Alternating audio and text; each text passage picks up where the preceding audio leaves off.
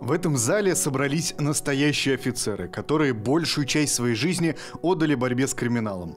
Это они шли на риск, но обеспечивали покой и безопасность граждан, проводя бессонные ночи на улицах разбитых фонарей. Это их стараниями культурную столицу России перестали называть бандитским Петербургом.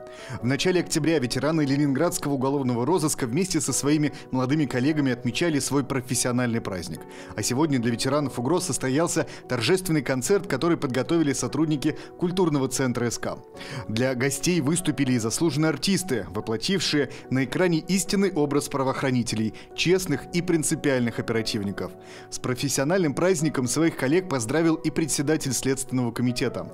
Александр Иванович Бастрыкин вручил гостям подарки и наградил их ведомственными медалями.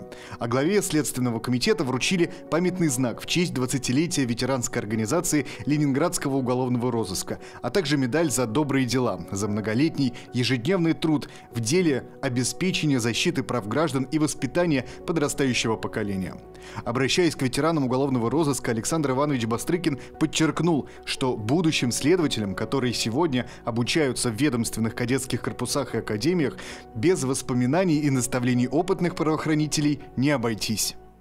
Мы бы хотели, чтобы они познакомились с вами, исходя из вашего понимания, что такое профессия сыщика, что такое раскрытие преступления что такое не спать ночами, что такое идти на задержание, рисковать своей жизнью. Давайте создавать сборники воспоминаний о работе уголовного розыска.